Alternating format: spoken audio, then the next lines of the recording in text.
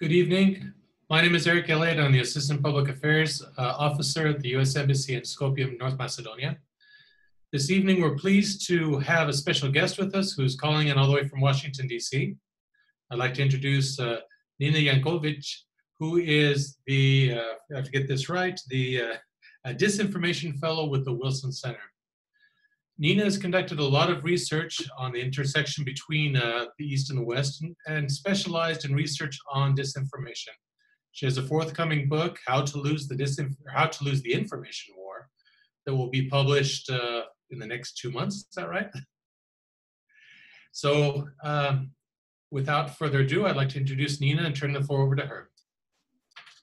Thank you so much, Eric. It's a pleasure to be with you all this evening. Uh, here it's the afternoon, but I do wish I were in, in Skopje uh, enjoying some delicious Macedonian food. I've been there once before and hope to go back in the future.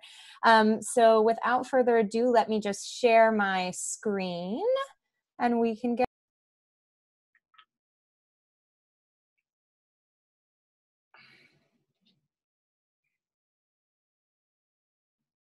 two months is called How to Lose the Information War. And luckily, a lot of the lessons that uh, it talks about, lessons from Central and Eastern Europe, are extremely applicable to today in our current you know informational moment amid the covid-19 infodemic as the world health organization is calling it and i um, was really inspired to write this book when i was working in ukraine um, as a a strategic communications advisor to the foreign ministry there as part of a Fulbright fellowship. And um, it just seemed to me at the time, and it, the 2016 election was going on when I was uh, in Ukraine. It seemed to me that the United States was approaching disinformation as if it was a completely new phenomenon when countries in Central and Eastern Europe have been dealing with it, not only coming uh, from the Russian government, of course, but domestic disinformation as well for many, many years. And so I thought I would investigate those countries and um, give some lessons learned for uh, not only the United States, but any other government that seeks to combat disinformation. And certainly everyone is doing that right now. So we're going to get into that a little bit today. Um, I always like to start and end my presentations with this cat. Uh, I think it really encapsulates our response so far to disinformation. We talk a lot about content getting removed from platforms like Facebook and Twitter.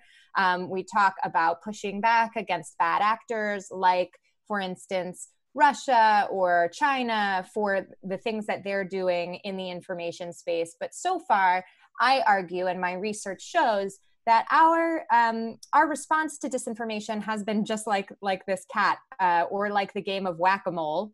If if you know that carnival game where the little rodent pops up and you need to hit it on the head but they keep popping up right? Uh, but in this case it's whack a troll right?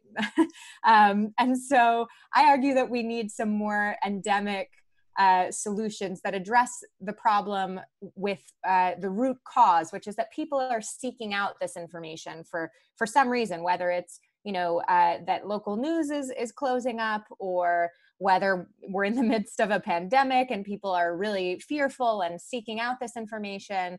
Um, so again i'll get into this a little bit more but we need to do a lot less of this in our response to disinformation before we go any further, I thought we would just define some terms because often in reporting about dis and misinformation, a lot of these terms are used um, interchangeably and actually they are not the same things. And I think to aid our understanding, we need to be very precise about the terms that we use. So, disinformation is the false information um, that is spread with malign intent. So, that might be uh, by nation states who are seeking to undermine others for their foreign policy privileges. That might be uh, it might be people who are seeking monetary gain. And I'm sure you're all familiar with those Macedonian teenagers in the 2016 election. They are now the stuff of legends, um, but they were also spreading disinformation. There was that malign intent about it. Misinformation, on the other hand, is false information that is spread without malign intent. So that might be your aunt or uncle or grandma, grandpa on Facebook trying to share information that they think is helpful or that they believe in about the coronavirus, but actually um, this information isn't true. Uh, they don't know that and they don't necessarily have a malign intent behind sharing that information. And then we have propaganda, which often people will use as kind of an umbrella term, but actually it's a very specific type of information warfare. It's information spread to pers- persuade an audience, usually with political connotations or on behalf of a government. So, a recent example of a propaganda event that I like to give is um, recently the Russian government sent a plane full of ventilators and personal protective equipment to the United States to fight coronavirus. Um, and all of the boxes that were on the plane were emblazoned with from Russia with love. And then the Russian media wrote about that um, and how the United States was receiving Russian aid for many weeks afterward. And this was in order to message that uh, the Russian government was doing a good job dealing with the crisis and that uh, you know the relationship between President Trump and Putin was going well, that Putin was helping other countries, et cetera, et cetera. So that's propaganda. And then we have trolls and bots, which everyone seems to use interchangeably, but these are not uh, terms that are interchangeable actually. Um, a troll is an account that's uh, controlled by a real human being. Um, sometimes their identity is obscured, sometimes not. Sometimes people might control multiple tro- troll accounts. We know that, for instance, the Internet Research Agency in Russia um, controls probably thousands if not tens of thousands of troll accounts uh, that it used during the 2016 election. But a bot, on the other hand, is a social media account that is operated entirely by a computer program. Um, so there's a human that's controlling thousands of accounts, but that's run on lines of code. So that's the difference between those. The other thing that I think is important to point out at the beginning, which we're seeing fully on display during uh, the coronavirus pandemic is how disinformation is actually not all about fake news or false information. It can just be misleading. And often, the most successful disinformation is grounded in a kernel of truth. It manipulates our emotions, it manipulates the trust that we have in institutions, in our politicians. Um, and it, we're, it's able to be targeted at a very fine level thanks to social media, which I'll get to in a second. But I like this chart because it shows, uh, and it's quite old at this point. Um, I've been using it in my presentations for three years now, but it shows how uh, trust is is declining in a lot of the countries um, that I study, in particular. Um, and that in the United States from 2017 to 2018, trust declined in institutions 37 percent. Um, and this is a yearly survey that's done by the Edelman Trust Barometer. It's, it's quite interesting um, to see how these trends change over time. But if you look at it, um, the countries that have huge problems with disinformation are often ones where the trust in government is quite low. And I would wager that trust in uh, UK institutions, for instance, has fallen quite a bit um, since this uh, since this slide was made. So um, that would be interesting to follow up on. But they're certainly dealing with their own disinformation crisis now as well. And then we have the tools and tactics of the influence playbook.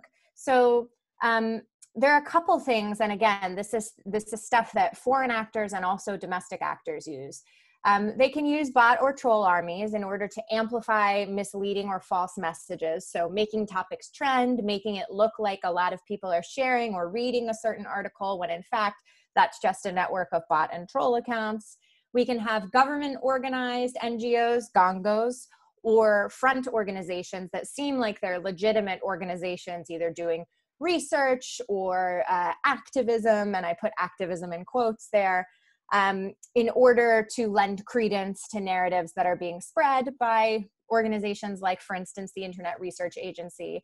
And often those organizations are equipped with fake experts to do the same. So people who are uh, either inflating their credentials or have been um, you know packaged to look like they are an expert when indeed they're they're just a propagandist in many ways um, the influence playbook also includes cyber attacks and cyber crime, which informs what we call malinformation. Um, so these are the hack and leak operations, which we've seen in the United States and France, where documents that wouldn't be public are made public um, in order to try to harm usually a politician. Um, and cyber attacks and cyber crimes certainly uh, are on the uptick during the COVID 19 pandemic. Um, the FBI and our Department of Homeland Security just released a, a, warning to many people about um, the fact that cyber criminals are taking advantage of people's emotions again. Uh, so keep keep an eye out for that. And then um, funding and organizing political protests and political parties is something that a lot of malign actors do. And I think it's important to note that, and you'll see this in some of the case studies that we're about to talk about. Um, it's not just about posts being shared on the internet, it's about changing people's minds enough that they show up to protests. This happened in the United States, and it's happened in many of the cases that I uh, look at in my book. Um, as I said, my book focuses mostly on Russian disinformation. So I think it's important to point out what Russia's goals are in uh, in this, you know, arm of its foreign policy, and it's generally to undermine democratic institutions and the Western or transatlantic political order in order to shore up both Putin's support at home and also uh, his global position at the global negotiating table. And I always like to point out that, you know, since the 2016 election, um, and especially if you go back a little further since uh, Putin's incursions into Syria and Ukraine, um, all of the all of these influence campaigns that have been surrounding those activities have certainly made the West pay a lot more attention to Putin than we did before. So I would say that he is achieving that goal, and it's up to us now to push back against those narratives. But that being said, um, again, disinformation can definitely happen domestically. And one of the things that comes through in my book, and we'll talk about one case study um, where this is the case, is that countries that don't recognize their domestic disinformation problem have a very difficult time fighting foreign disinformation. You have to either decide that disinformation is a problem, regardless of the source, or that you don't care about it. Um, and I would say a lot of a lot of governments are trying to have it both ways right now, and that just does not work in terms of policy. And then, of course, there's the role that social media play. And this has been increasingly important um, since 2016, uh, as you know, the American consciousness has been uh, trained on social media companies, um, especially uh, there's of course the 2016 election interference, but Cambridge Analytica data scandal um, dealing with users' personal data. I think people are becoming more aware of the fact that social media is not an unadulterated force for good in their lives. Um, and in this case, the social media essentially democratize the tools of influence so that anyone can access the same tools that allow you to very um, very minutely target different people on the internet based on their demographic data based on their likes and dislikes and their previous browsing history even. Um, so this is the the the real crux of why we're having such a disinformation explosion now especially why um, during the covid infodemic um, we are seeing such uh, such difficulty to find trustworthy information. Um, it's because social media has made it easy to put your message out, to target it to the people who are most vulnerable, and then it allows it to spread very, very quickly compared to the propaganda and disinformation of yesteryear. So now I'll get into the case studies a little bit. And you are all probably pretty familiar um, with some of these. Uh, the Estonia 2007 Bronze Soldier Crisis is something that I view as the start of the modern information war. Um, and essentially, what happened, and again, you're probably much more familiar than most of my audiences. Um, Estonia, of course, has uh, quite a high ethnic Russian population thanks to uh, military families which moved to the country when it was part of the Soviet Union.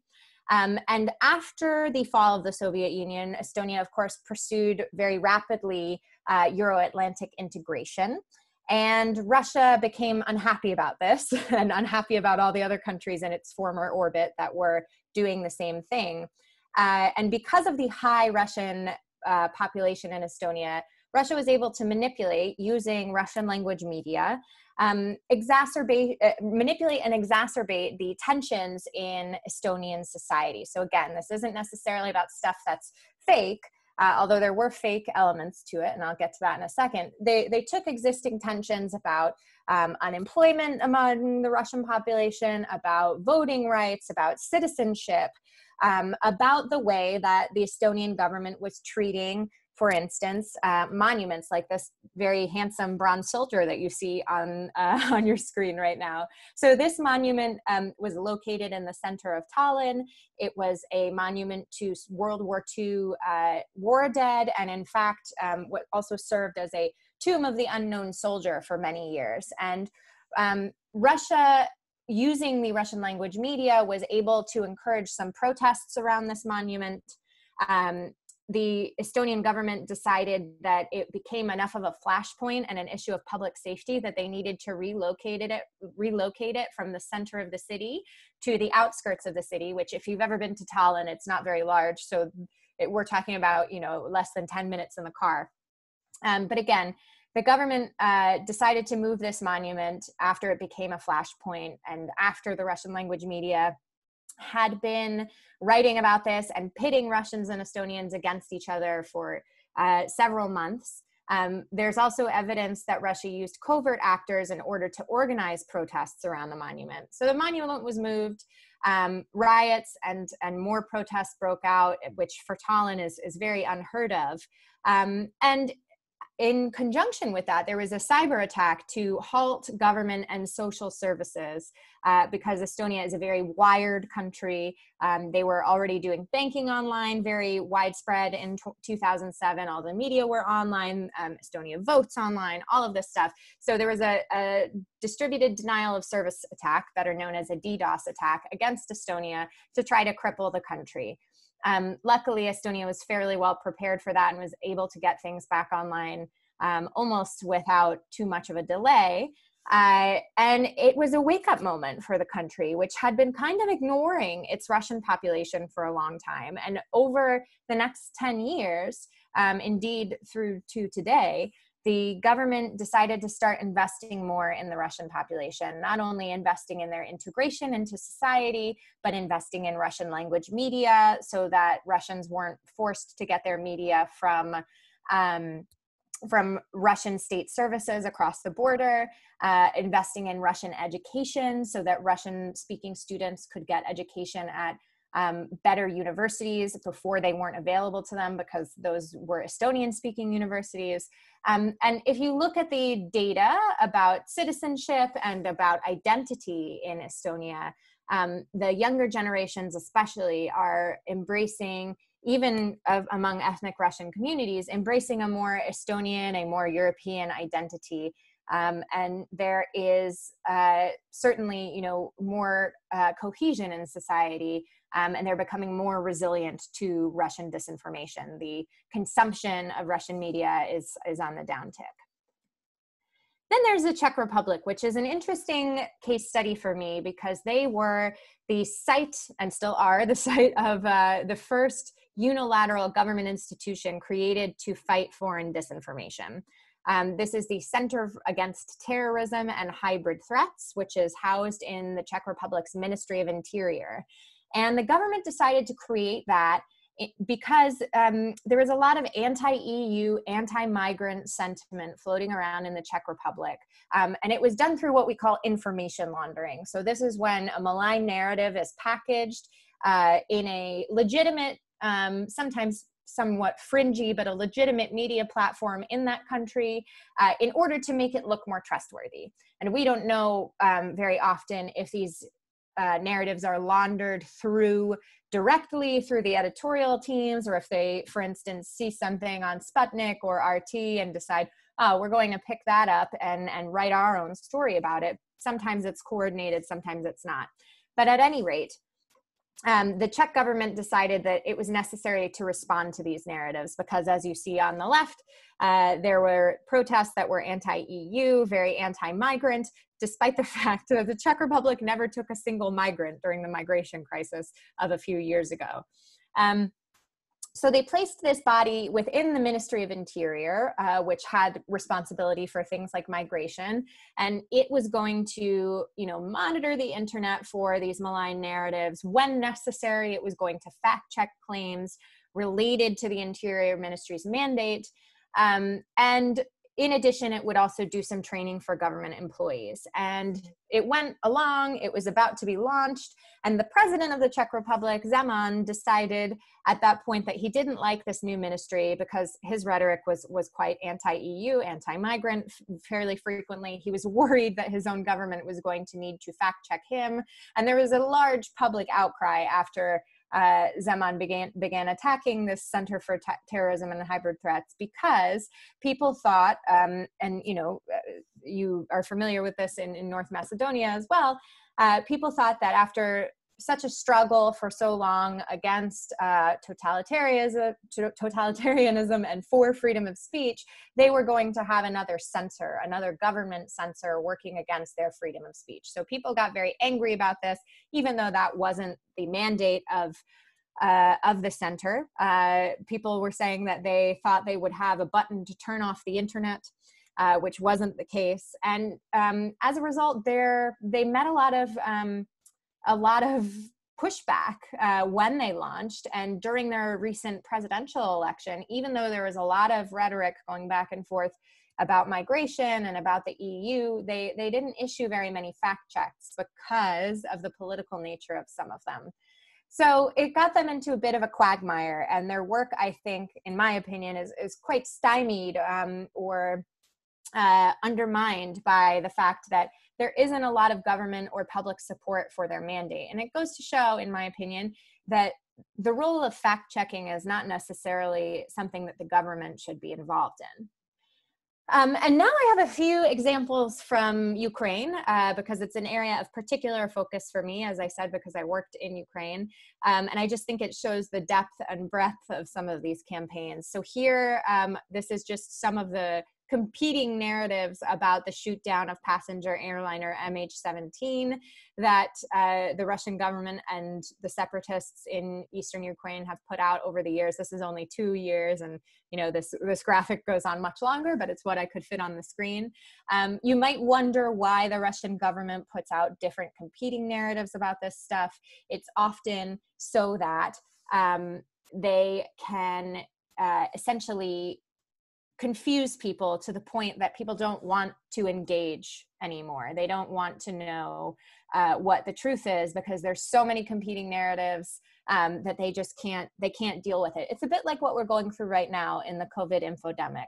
Um, and so this has been a very difficult thing for the Ukrainian government to grapple with. It's also been difficult for the Dutch and Malaysian governments, which are involved in the uh, investigation into the crash. Um, and to this day, in fact, I just saw yesterday um, there was a COVID conspiracy theory going around that somehow tied into MH17, which you might think that these two events are completely uh, disparate and not connected at all. But uh, some conspiracy theorists found a way to convince uh, convince them that you know COVID is actually a type of AIDS, and that all these AIDS researchers were on H- MH17, and that's why it was shot down in order to protect uh, keep the world from getting an AIDS cure. It was very circuitous logic, but um, again, people look at this, they say, we don't know what happened to that plane. It might have been Ukraine, even though we know it was the Russian government beyond a shadow of a doubt that uh, supplied the missile that brought down the plane. Uh, it might have been Russia, it might have been the CIA, right? No one wants to engage with it, and the truth is lost. Um, this is another favorite uh, example of mine, and one that I um, go into in great detail in my book. Um, you may be aware that in 2016, the uh, the Dutch government had a referendum on Ukraine's EU association agreement. Um, and for the Kremlin, this was a perfect opportunity to undermine EU cohesion because uh, the Dutch really are not huge fans of the European Union and undermine Ukraine's EU aspirations at the same time. Um, so they they had a number of tactics that they employed in the lead up to the referendum that would determine whether or not uh, Ukraine's EU association agreement was ratified.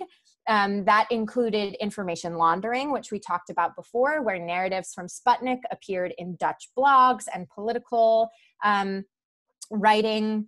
Uh, we also saw a YouTube video, actually, two YouTube videos, which purported to show the Azov Battalion, which is kind of a pseudo military, paramilitary force in Ukraine, uh, threatening Dutch citizens. And I'll, I'll try to play that for you in one second.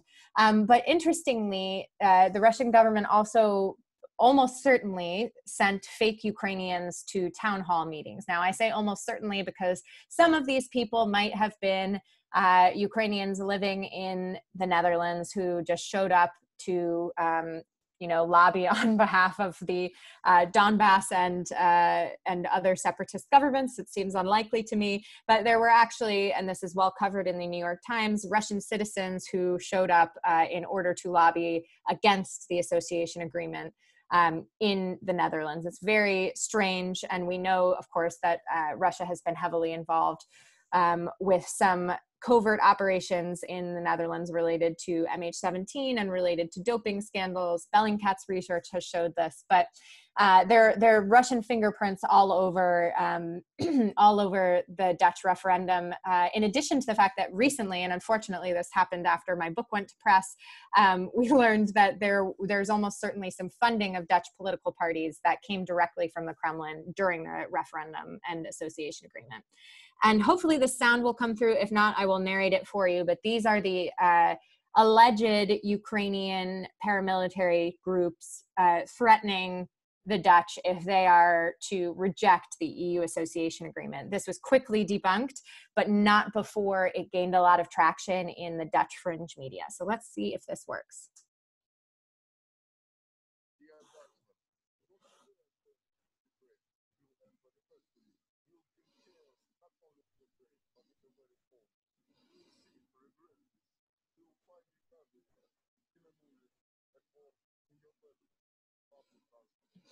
So I'm not sure if you can hear that or not, but they were saying, you know, Dutchmen, we're going to find you and threaten you and perhaps uh, commit violence against you if we do not, uh, if you do not vote for um, for the association agreement. And the Azov Battalion itself came came out and said, "This is not us. We wouldn't hold weapons like that. You can see that those weapons are toys. These are just actors."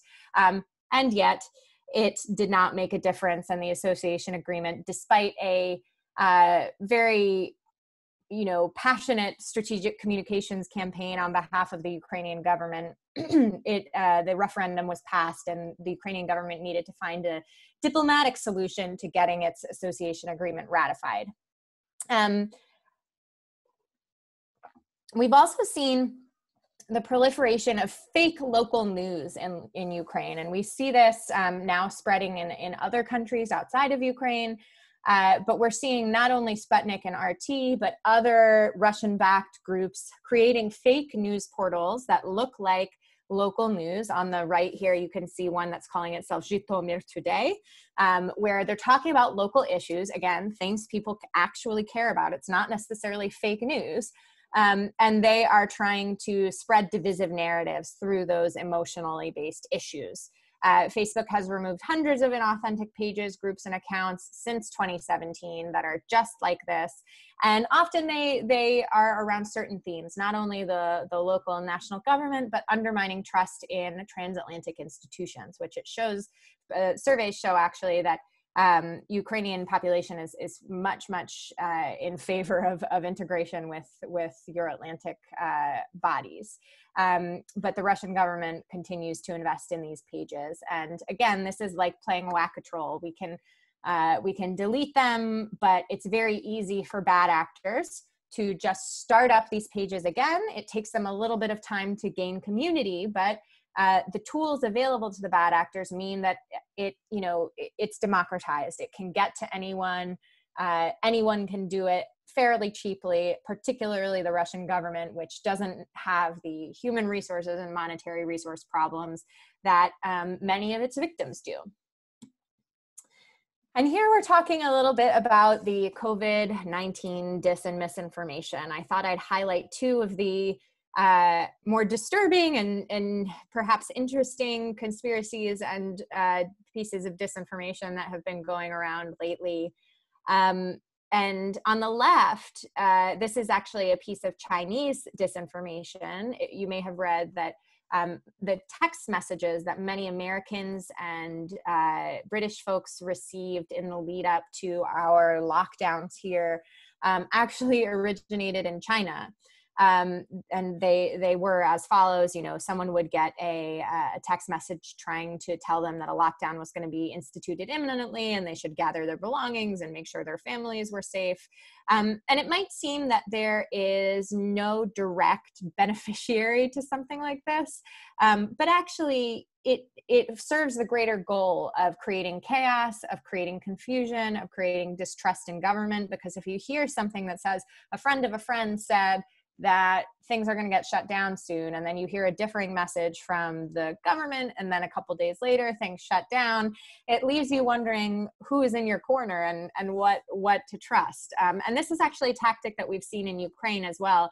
Uh, the russian government and the separatists often send fake text messages to ukrainian soldiers on the front lines telling them to desert their positions that uh, their families are going to be threatened if they don't do so. Um, so it shows how again uh, disinformation is something that's becoming much more widespread during this moment of pandemic because we are all worried, we're all fearful, we are all lacking information. Even scientists are lacking information because of how new and scary this disease is.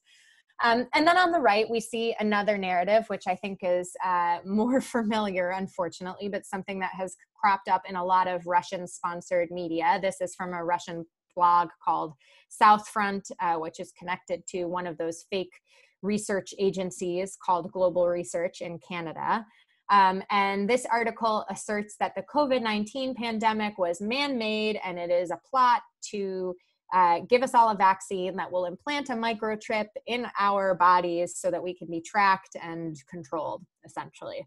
Um, and this is something that showed up on a lot of Russian uh, disinformation sites recently.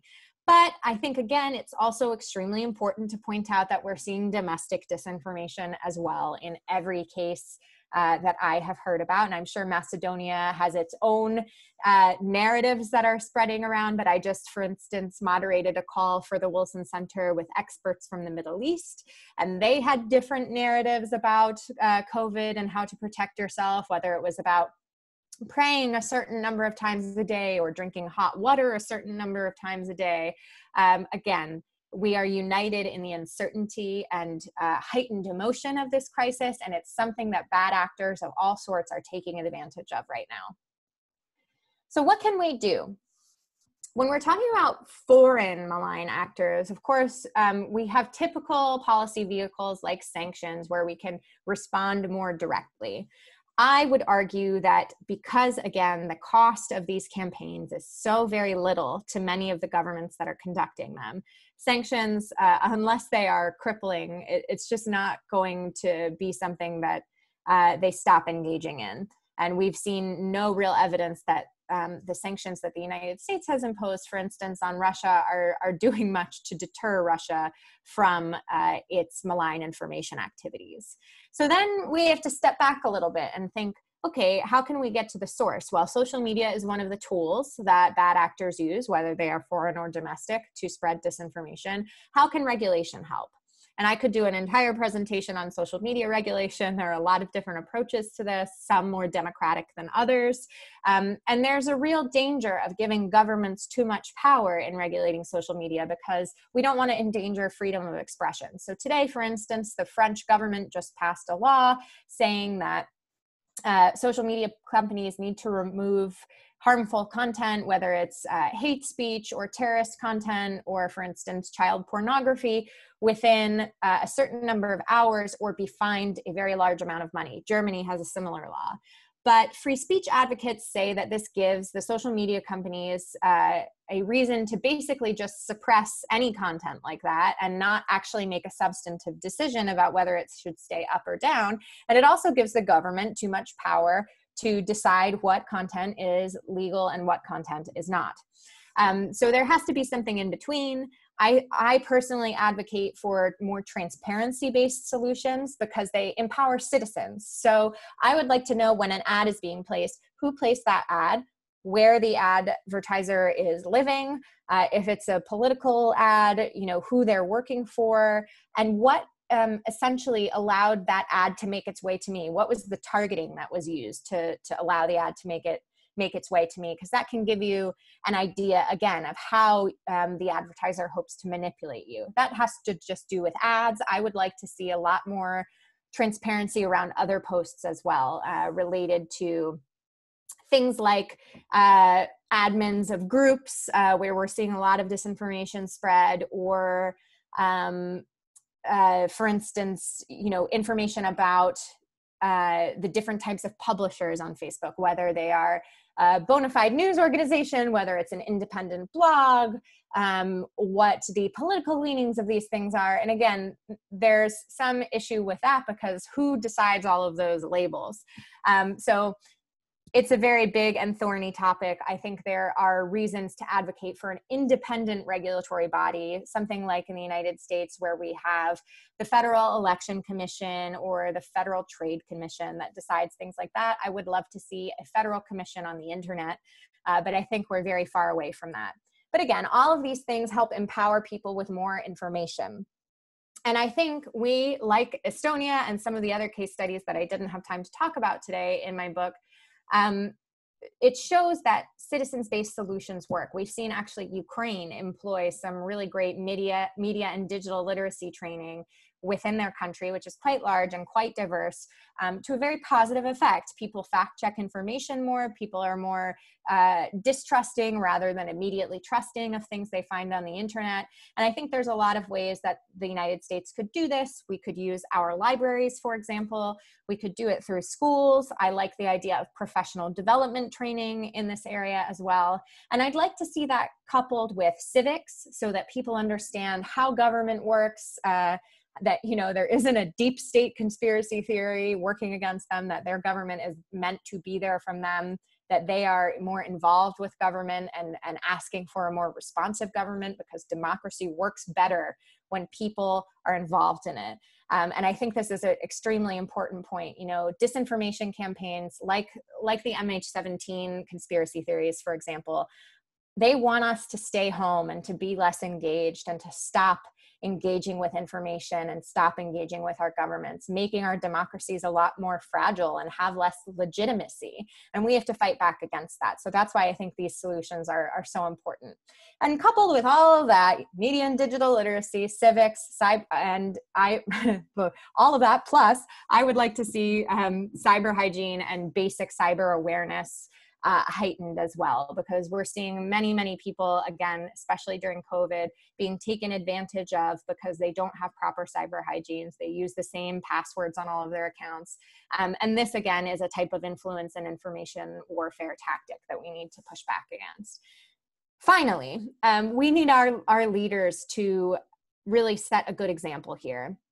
We can't fight disinformation when we're practicing it ourselves. And so um, the things, for instance, that Czech President Zeman was saying about anti migrant, anti EU sentiment that were untrue that he was using to uh, score political points, that's a detriment to, to his democracy um, and to the fight against disinformation. So I try in my work to work with a lot of uh, MPs, members of parliament, uh, and members of Congress in order to drive home that democracy is what is at risk here disinformation is not a partisan problem. It can come for, for any of us.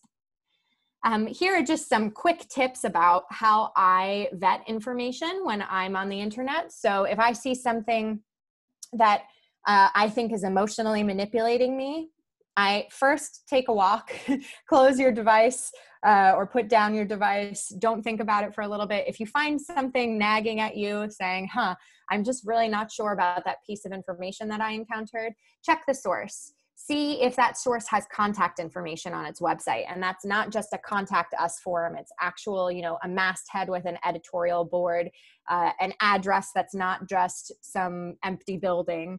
Uh, check all of that stuff. Check the author. Does that author have other pieces? And if so are those other pieces trustworthy? Check the text itself. This is called horizontal reading. Can you uh, copy and paste a piece of that text into your browser window into a search engine to see if it's coming up anywhere else because often you see a lot of these fake news narratives recycled. Um, conducting a reverse image search is a great way to verify visual content. Um, and in most browsers, you can right click and search Google for that image to see when the first instance of that image comes up on the internet. And you'll see that a lot of um, untrustworthy articles recycle images from previous years. And then practice what I call social media skepticism. Understand that not everything that you read on the internet is true. It's really important. And then, of course, we have things like cyber hygiene. I personally use two factor authentication on all of my accounts so that if someone did get my password, uh, they wouldn't be able to get in because you need a second proof of identity, and that can come through an app on your phone or a physical security key. Um, you can use a password manager as well so that you can create complex passwords uh, for your accounts and uh, and not have to remember them or write them down in an insecure way.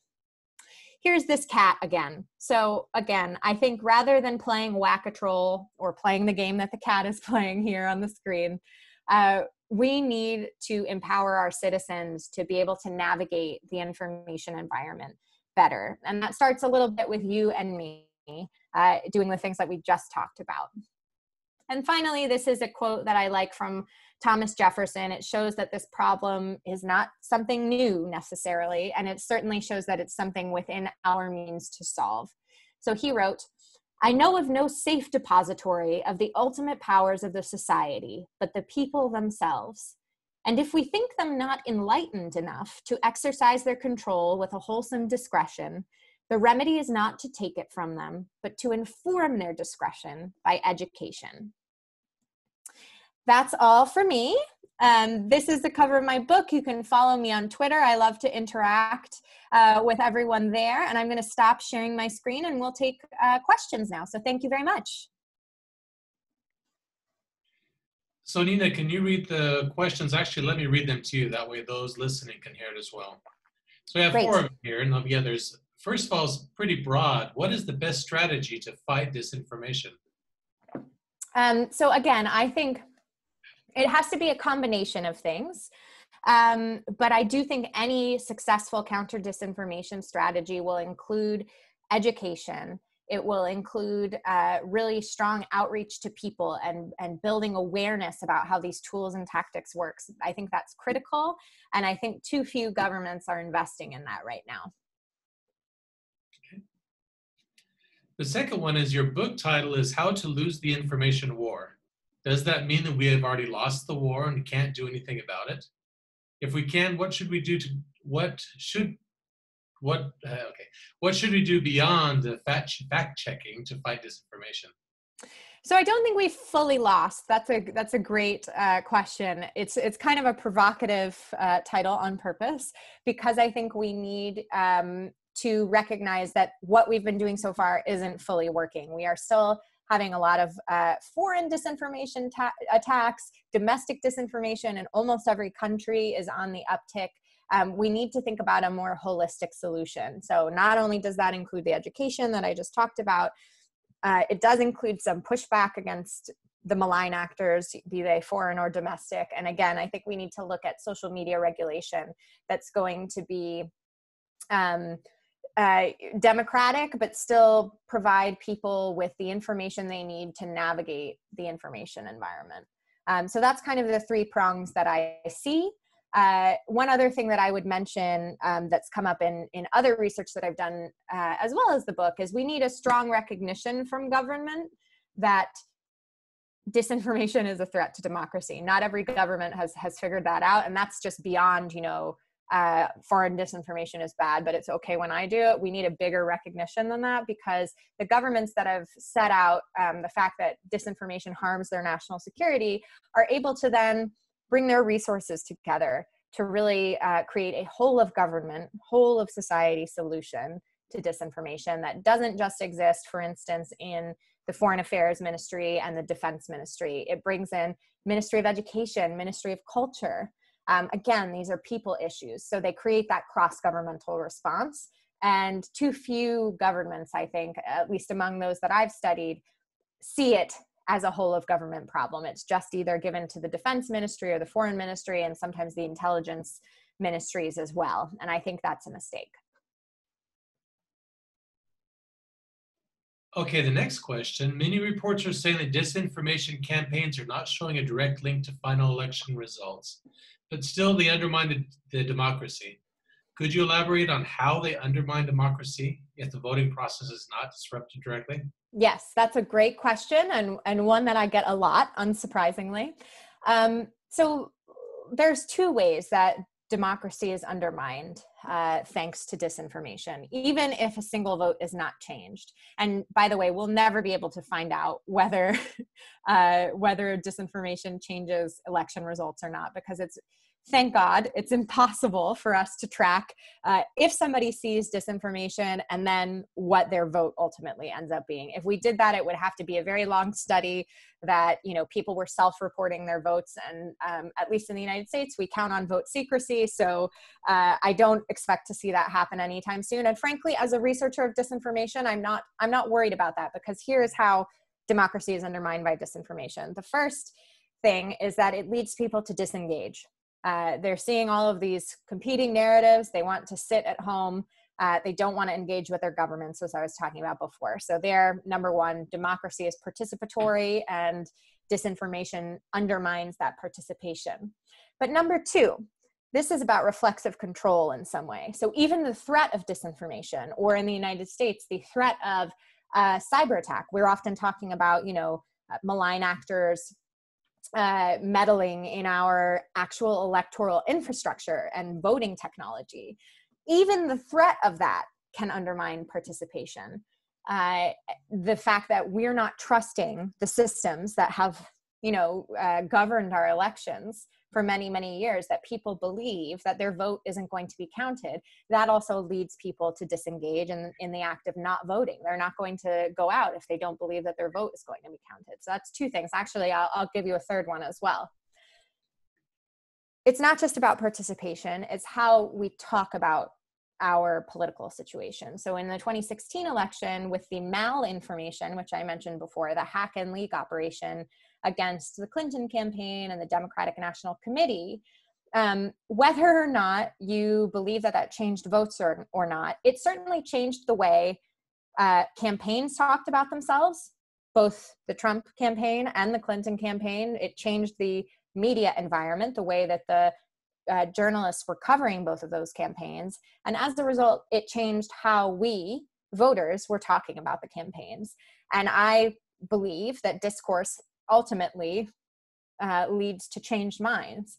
And if our discourse is being affected by outside forces, where information is being leaked that would have never otherwise been public, um, you have to wonder where where does the line get drawn here? Um, and I think this is clear that uh, it had an effect on our discourse in 2016. And if something similar were to happen without the same laws, for instance, that France has, where uh, the Macron leaks happened right before the election, they went into a blackout period. No media covered those uh, those leaks because it happened right before the blackout period. And actually, um, those that did the fr- the French uh, people were quite savvy. They said, you know what, it's clear that some bad actor was involved here, and we're just not going to pay these leaks any mind. Um, that's a totally different environment. And unfortunately, the United States, I don't think is prepared for a similar thing should it happen again in 2020. And that's a, a clear way, I think, that disinformation affects uh, democracy. It affects our democratic discourse. Okay. In countries like ours, North Macedonia, and while in the whole region, we need to educate people through NGO engagement, teaching the young, put simple broadcast on TV, hard to read, so older people can understand and raise awareness. Do national programs uh, specific for each country for this kind of problem, or would you recommend national mm-hmm. programs for specific to the different countries? Uh, because it may be cheaper to prevent now than to resolve later. Yeah, I think that's a really good point. And in fact, um, I, uh, when I was in North Macedonia a couple of years ago, got to engage with some of your NGOs, and they seemed really inspiring the, the way that they were trying to reach out and educate people. And I think um, it's absolutely um, something that would benefit our democracies and their stability if we were to invest in these sorts of programs. So, one thing that I've recommended uh, to our members of Congress here, um, as well as some government officials, is investing either in education programs that can go through the schools, as I mentioned before. Um, I think libraries are a great way to do this as well. But I also think it would be um, really great if we invested in local NGOs that were doing this sort of uh, activism and engagement because those organizations are often more trusted in society than, for instance, uh, anything that has a government branded seal on it you know uh, even if that's a school um, libraries in particular are quite quite well trusted um, another thing that i would add to all of that is that public media is hugely hugely important um, we in the United States lag behind, I think, with our, our investment in public media. But in countries that have higher investments in public media, there's a trusted source of information at all times. I love a statistic about uh, the, the BBC, which I think in uh, this was a 2018 statistic. Uh, Brits were asked in a time of crisis, uh, which of these broadcast agencies would you trust? And almost 60% of British people said that they would trust the BBC in a time of crisis. And I find it hard to imagine a media outlet that 60% of Americans might trust right now, even our public broadcaster. Um, but it allows people a trusted source of information um, that they know you know they can go to in a time of crisis um, and it's not just about building awareness uh, through through you know media literacy and things like that. It's also about creating an information ecosystem um, that people feel uh, some modicum of trust in that they can navigate without that that overwhelmed feeling that they know that they're not being manipulated at all times so an interesting statistic i read showed bbc as the most trusted network in the united states as well wow i haven't heard that one you'll have to send that to me so this is kind of a, a similar question. When you say education, do you think media literacy should be incorporated in the school system? So I think that has to be a, a port, excuse me, a part of it. Um, but I would like to see it reach the voting age population as well. So I'll tell you a little bit about a program that was implemented in Ukraine um, where it was focused on adults. They also have now a, a secondary school education program where media literacy is um, kind of combined with a bunch of other subjects like history and Ukrainian language and even art. Um, but the first time they ran a program like this, they did it through libraries. Again, I'm a big library advocate, love libraries. Um, and essentially, they trained a bunch of people who uh, were well known in their communities. They went out to Ukraine's regions, and those trainers then trained people to deliver a media literacy training. Um, and as a result of that training, the people, even 18 months after the program were over, was over, the people who did the program um, were fact checking things more. Uh, they remembered the the things that they had learned, and a lot of them actually went and uh, paid it forward and taught other people about what they had learned at the training. And it wasn't politicized. It was just here's how you know you're being emo- emotionally manipulated. Uh, it was about uh, here are some easy ways to check the sources that you're seeing on the internet, like some of the things I showed you today. And it also included a unit on hate speech because that's important and it's certainly something that uh, creates the emotion that disinformation thrives on. Um, and it was really quite quite successful. So I think it's important that it's incorporated in schools, um, but also that it reaches the voting age population. In the United States, we have a little bit of difficulty with the school situation because we have a federal education system and states are in charge of the curriculum, uh, their education curriculum.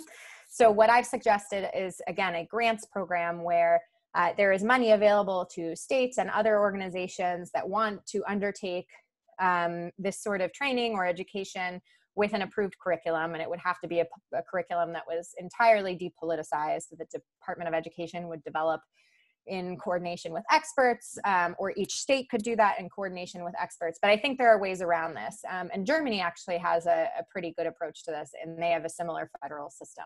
So it's not impossible, but it does take generational investment.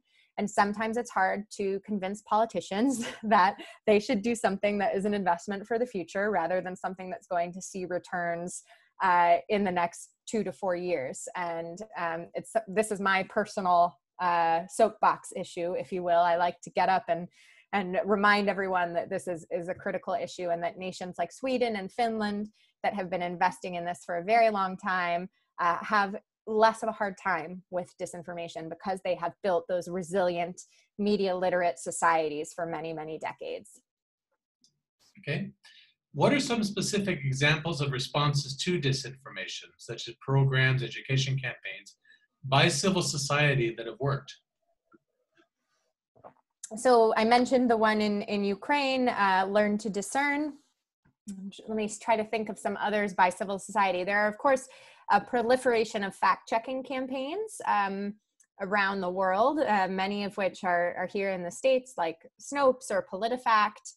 Um, and there's a Stop, Stop Fake in Ukraine, which is another uh, fact checking campaign. I think they all serve um, a good purpose to correct the record and make sure that uh, researchers, et cetera, have access to information about disinformation. But, um, and there's always a but, unfortunately, fact checking campaigns are shown uh, to often have the opposite effect of what they're intended to do. So if someone sees a piece of disinformation and then they read a fact check, they're actually more likely to believe the false information or more likely to remember the false information rather than the the information that's been corrected so um, it's a problem there's also a problem of of reaching your audience there because if certain people are being targeted with dis and misinformation they don't even know they're being targeted um, they're not going to necessarily seek out fact checking uh, as a result because they they have no idea that they're in this bubble that's been created um, so I worry about those. I think they, again, serve a purpose, but are not necessarily the most impactful. Um, but there are a lot of other um, media literacy initiatives um, that I know less about because I haven't lived in those countries. Another thing that I would say is important, uh, and we often kind of leave out of civil society, quote unquote, is investigative journalism. So there are several outlets in Ukraine. There's the Organized Crime and Corruption Reporting Project, which is based in Sarajevo. Um, there are a number of other uh, projects related to corruption reporting in particular. And I think the work that these investigative journalists do is absolutely critical to informing people not only how disinformation campaigns work, but how they are funded. Um, which you know we know through in Russian investigative journalists, in fact, about the existence of the Internet Research Agency and how it's funded. Um, they did all the legwork that that led that into public consciousness. Uh, so investigative journalism and, and, public media are critical um, as we're fighting disinformation, and I would certainly lump them in as part of civil society. Okay, this is from one of our uh, partners from outside of the country. Are there any automated systems of detecting and filtering disinformation and misinformation? I am thinking of building something like that for the Armenian media market and was wondering what uh, would such an automatic system need to be to, need to have to be effective? So there are. Um, there's something called NewsGuard, which actually I think is working.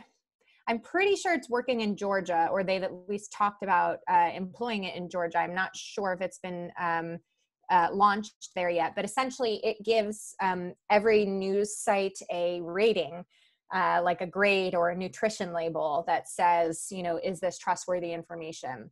the problem that I see with those sites, uh, although I think they're really useful for a, a, person who has the right mindset, is that the people who are most susceptible, again, to all of these narratives aren't going to trust a browser extension that labels their news sites. And they're going to say, if they see, you know, their favorite disinformation site labeled with an F minus grade, they're not going to trust it anymore. They're going to say, oh, that's fake news. Here's the real news. And this whole browser extension, I'm going to you know invert it and the new york times which gets an a is now going to get an f because it gave my fake news site an f that i like to read so there, there's again a supply and demand problem there and i tend to think that the best way to to reach out to those people who might be vulnerable to disinformation um, and actually this is something that i've been talking to people a lot with regard to coronavirus because people are sharing things on facebook if you see somebody that's made a comment that you know or you think is false, it's better not to approach them publicly about it because they're going to dig their heels in and defend their position. If you can message them privately and say to them, Hey, I saw you share this article. I was wondering why you believe this. Um, and then try to help them defend their position without using disinformation or false information. Um, I think they want to be right. They don't want to be proved wrong. And if we do that in a more human way, often the internet takes out our you know very personal reactions to things uh, we have more of a chance of convincing people um, there are downsides to that in that people aren't going to see the fact check happen in real time um, but i think you know this is the way to approach it and and i i just worry that the people who are really vulnerable to the most pernicious disinformation aren't going to trust a ranking system that's created by some unknown uh, character on the internet. Okay uh, fake news debunking websites are popular and a number of them is growing and the number of them is growing. Uh, do you have data on this trend uh, uh, and do, do, they actually work? Do they give? Uh, yeah.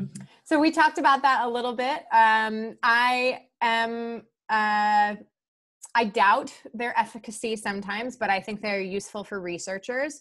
Um, there is the Poynter News Institute, which keeps track of fact checkers, and then the International Center for Fact Checking I might have gotten the acronym wrong, um, but they do like a, um, a training for fact checkers to make sure the standards are are um, correct across countries.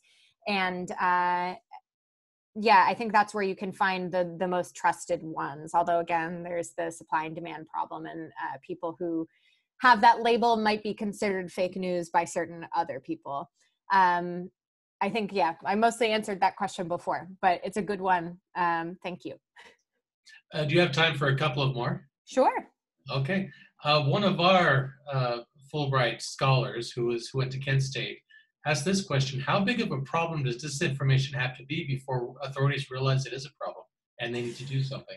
That's the, the, the million dollar question, I think. I mean, um, sometimes it's really difficult in my field because uh, I look, and this is, you know, my personal opinion, it's not the opinion of the Wilson Center uh, I, I wake up in the morning and in, in a lot of cases i feel like we in the united states are in the same place that we were in 2016 we've done very little to deter foreign interference and now we've seen again this proliferation of domestic uh, disinformation as well.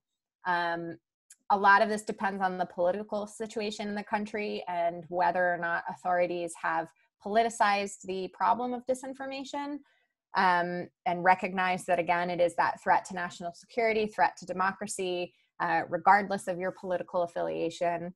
Um, and i think it's not necessarily about how big the problem is. There are plenty of countries like for instance in the czech republic where the problem was significant but i would say not anywhere near to what the united states experienced or what neighboring poland experiences for instance. And yet they created um, this government agency, which although it was stymied by its own government, was was created to to address the problem, right? So it's more of a question of politics, which is a very sad thing to realize. Um, but I do think that there are champions throughout um, civil society and throughout government. Uh, and I just choose to find my allies and start to work with them. So there are great people across the US government, many of them in our embassies, in fact, who are doing work on the ground on these issues. Um, there are uh, individual members of Congress of both parties who who find that this is their their issue that they want to champion, and I very happily go in and brief them or do hearings with them um, when it's useful. And uh, unfortunately, it's not a sprint. It's not a. Um, it, it is a marathon. it's going to be a very very long um, investment for us and uh, i think a lot of other countries as well. But um, every little bit counts and i hope that my book when it's out in the world will give americans in particular a new perspective on this issue um, and help them understand kind of the democratic uh, consequences of this problem not only here but in europe as well so speaking of embassies, this is uh, our public affairs officer asking this question. I'm wondering what you think are some of the more successful civil society groups working in this space.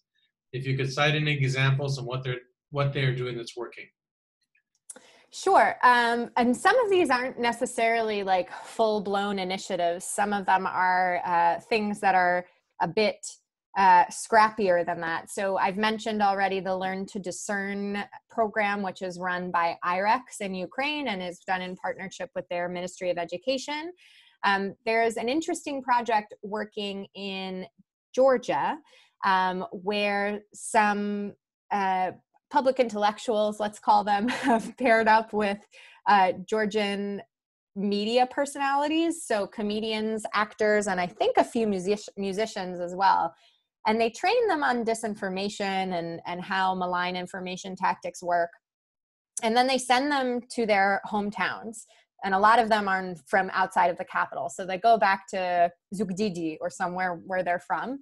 Uh, and they do a show, whether it's, you know, a comedy show, stand up, or they do a concert. And they also talk about disinformation, which I think is is quite genius and actually has uh, harkens back to some of the public media efforts that the uh, U.S. government did, for instance, around World War II.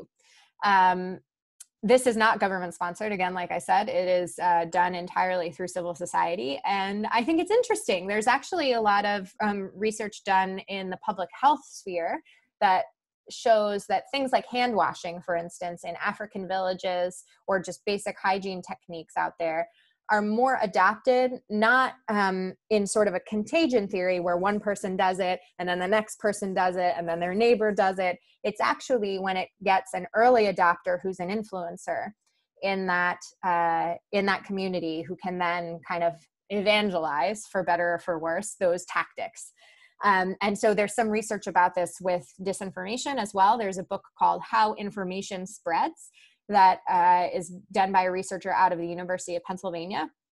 And it makes a very convincing argument that this is the way that we need to approach uh, awareness building about disinformation. So that's something that's going on in Georgia. Um, I think a lot of the public media initiatives, as I mentioned before, including Hromadske in Ukraine, OCCRP, which is Europe wide but based in Sarajevo, uh, ETV Plus in uh, Estonia, although that is partially government funded.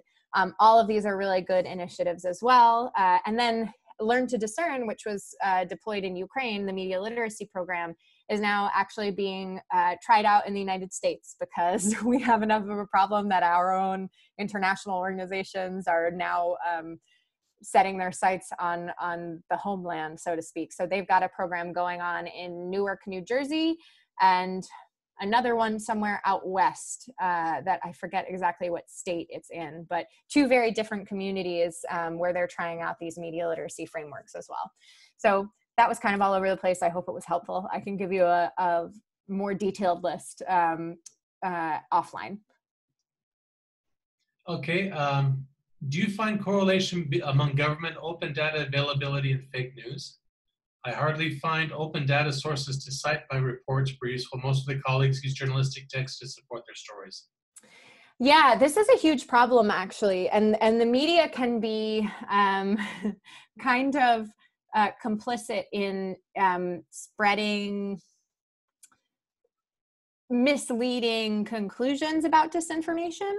So, uh, for instance, we have seen with regard to coronavirus disinformation a lot of assertions about who is behind what um, different campaigns and especially since 2016 the american media like to jump to the conclusion that russia is behind everything.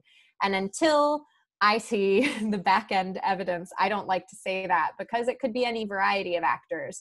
Um, is it hard to find the open data uh, to kind of uncover these campaigns uh, yes, but it's not impossible. And the researchers at Bellingcat, um, in addition to First Draft News, both have really good uh, toolkits available online for researchers about how to uncover this stuff in the open source environment. Um, so I think that is is those I would add those two to the list, by the way, because they definitely increase our, our media literacy and awareness of information operations. Um, the other problem with this is that the social media firms aren't very transparent in their um, information sharing. So when Facebook takes down, for instance, pages in Ukraine, we only know that they've taken down 400 pages and they share a couple of examples, but we don't see the whole thing. And something that I would really like to see more of is social media firms doing what Twitter does, which is sharing everything that they've taken down so that researchers can go through it. I think, especially companies like Facebook, which are multi billion dollar companies, should have the wherewithal and the um, resources necessary to create like a museum of disinformation so that people can see if they've interacted with that content. They can see uh, what it looks like and how you know it behaves who it was targeted to all that stuff is really important and uh, for for people's understanding. And the social media companies have been, I think, remiss in in not giving that data up. And of course, it stymies people like you and I who are doing that research as well, because we have to kind of go around terms of service of of those social media platforms in order to get the information we need. Okay, so two more.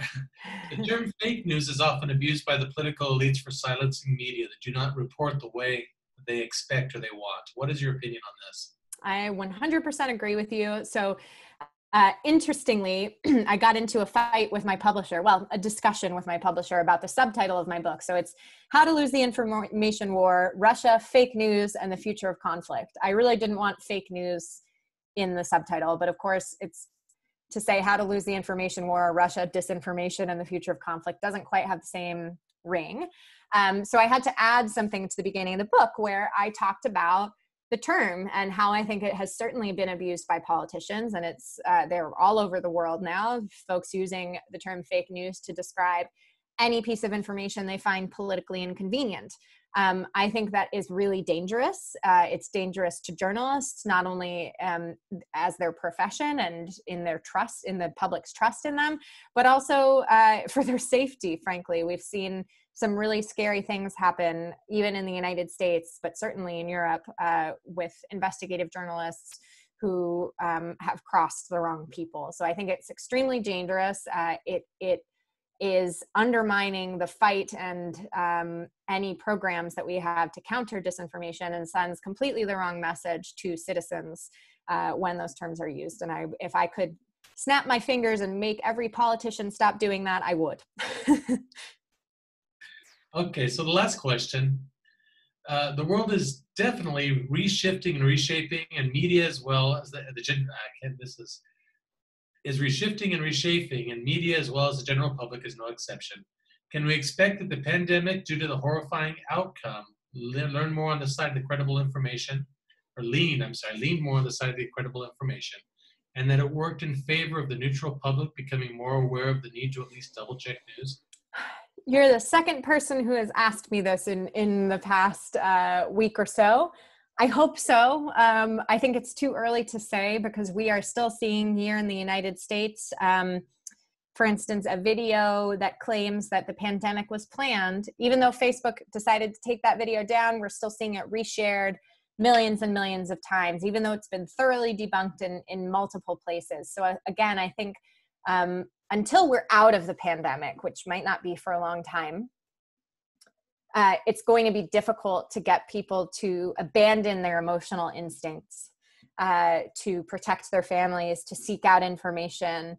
Um, and until we're on the other side, I, I'm not going to assess whether or not we've done done the job or not. Um, and unfortunately, another consequence of, of the pandemic is that people are tired of consuming information. This is true for me, and it's my job. I uh, I think a lot of people are just turning off and, and disengaging entirely, which we talked about the danger of that already. Um, but I hope that when they re-engage, they're going to be doing it with a bit more. Um, uh, what's the best word? A bit a bit more reason and a bit more uh, carefulness um, rather than just you know searching for any information that suits their worldview at the time. Uh, but again, really too soon to say, unfortunately. Okay, so we have one less late breaking question, and then we'll call it an end. Do you have evidence of media attacks on elected governments orchestrated and sponsored by oligarchies in the Western Balkans? That is a very specific question. so my uh, my experience in the Balkans is is quite limited um, to a couple of days that I spent in North Macedonia ahead of your referendum as kind of part of a um, information gathering mission that for an organization that I was working with. So uh, I don't have specific evidence of that, but I would look to the Organized Crime and Corruption Reporting Project, which has done some great reporting on how media in the Balkans is influenced by uh, the big spenders in the region. Okay, so thank you so much for talking to us, Nina. Thank you for having uh, me. It's great to be with you. Stimulating, interesting discussion. Uh, and thanks for coming all the way from Washington to visit us. well, I hope it's in person next time. we hope so too. Take care. Bye bye. Thank you.